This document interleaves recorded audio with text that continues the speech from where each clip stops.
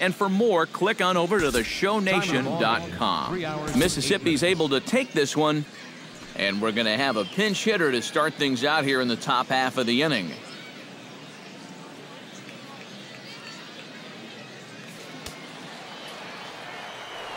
Here we go. Leading off for the One Bucks. time.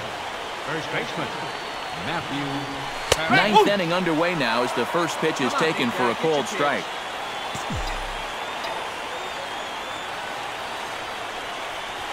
Oh, now here's a drive out to the alley. Around first on his way to second now. And he's not stopping. He wants three. Slide, slide, slide. And he'll get He's there set. as he legs out the leadoff triple. Hey, drive him in for us. If we need you, here you go.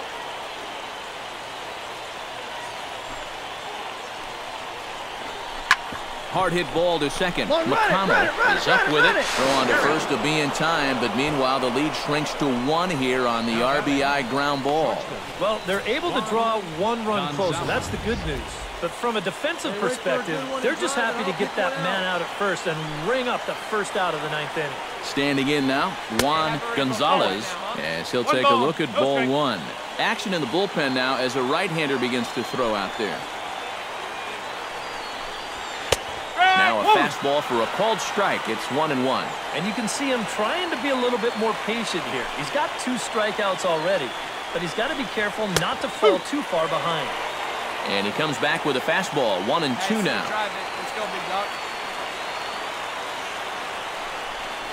Look out. That one almost got away from him. Two and two now.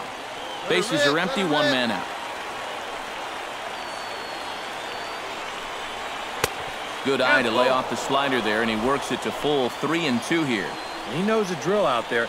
You got to make him swing the bat. Hey, wait for yours, And sir. not be giving up walks at this stage of the game because those could be fatal.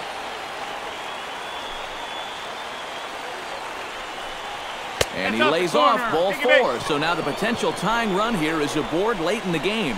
Wow, just a great And guys, a good outing on the mound for the man you see right there, the recipient of our Topps Player of the Game award.